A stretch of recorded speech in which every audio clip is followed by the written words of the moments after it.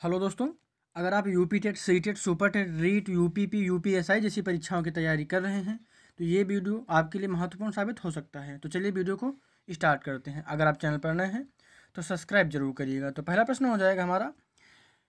पहला प्रश्न हो जाएगा, पाल वंश के संस्थापक कौन थे? पाल वंश के संस्थापक कौन थे? गोपाल, धर्मपाल दंतदुर्ग या फिर सामंत सेन कौन थे? आपको ये उत्तर देना है। हमारा उत्तर हो जाएगा, गोपाल। क्या?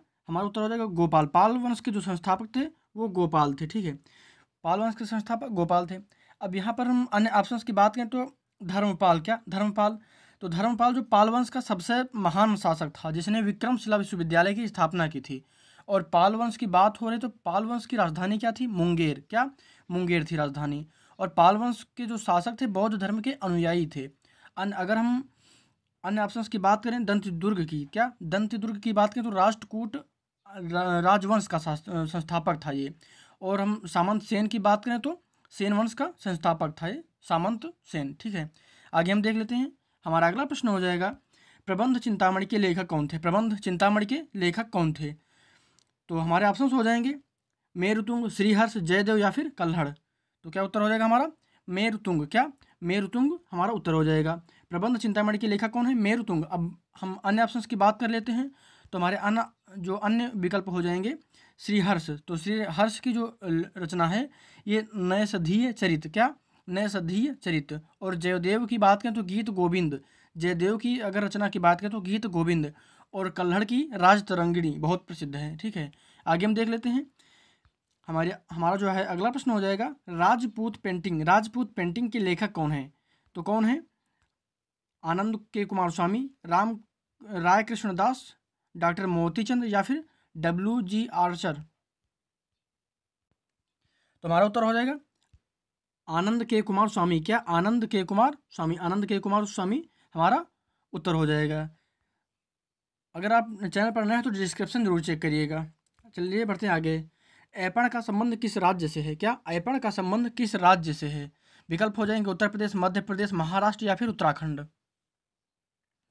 तो हमारा उत्तर क्या हो जाएगा? उत्तराखंड, क्या उत्तराखंड? अच्छा उत्तराखंड है तो जो उत्तराखंड में ऐपण क्या है? ऐपण जो है उत्तराखंड में शुभ अवसरों पर बनाई जाने वाली रंगोली या फिर चित्रकला को ऐपण कहते हैं। यही ऐपण होता है। अब उत्तराखंड की बात हो रही तो राजधानी क्या है? देहरादून। यहाँ के मुख्यमंत्री जी कौन है तो? त्रिवेंद्र सिंह रावत और गवर्नर राज्यपाल की बात करें तो बेबी रानी मौर्य, ठीक है। यहाँ पर उत्तराखंड में दर्रे है कुछ दर्रे हैं जैसे कि लिपुलेख दर्रा माना दर्रा और नीति दर्रा। ये तीन दर्रे उत्तराखंड के बहुत महत्वपूर्ण हैं ठीक है?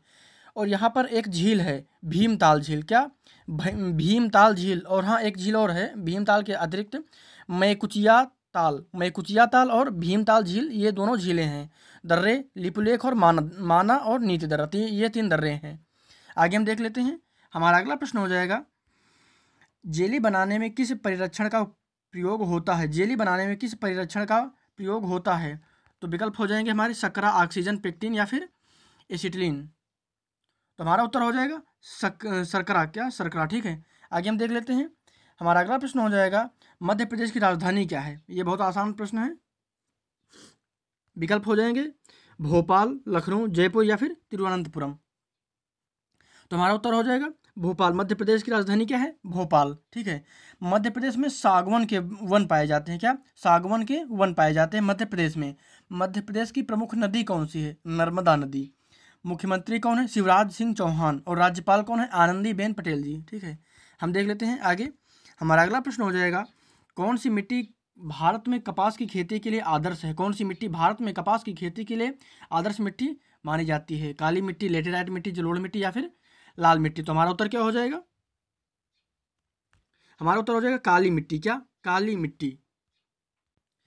काली मिट्टी को रेगुर मिट्टी के नाम से भी जाना जाता है। काली मिट्टी में मुख्यतः कपास, तिलहन, मोटे अनाज और सूर्यमुखी आदि का विशेष रूप से उत्पादन किया जाता है। चलिए हम बढ़ते हैं अगले प्रश्न की तरफ़।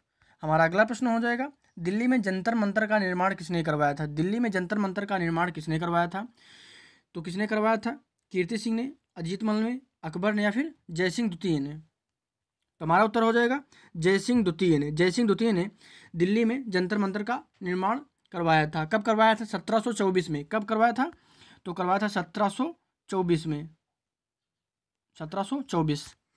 ठीक है, आगे हम देख लेते हैं। हमारा अगला प्रश्न हो जाएगा, भारत के किस राज्य में सुंदरवन पाए जाते हैं? भारत के किस राज्य में सुंदरवन पाए जाते हैं? पश्चिम बंगाल, मध्य प्रदेश, उत्तर प्रदेश या फिर गुजरात?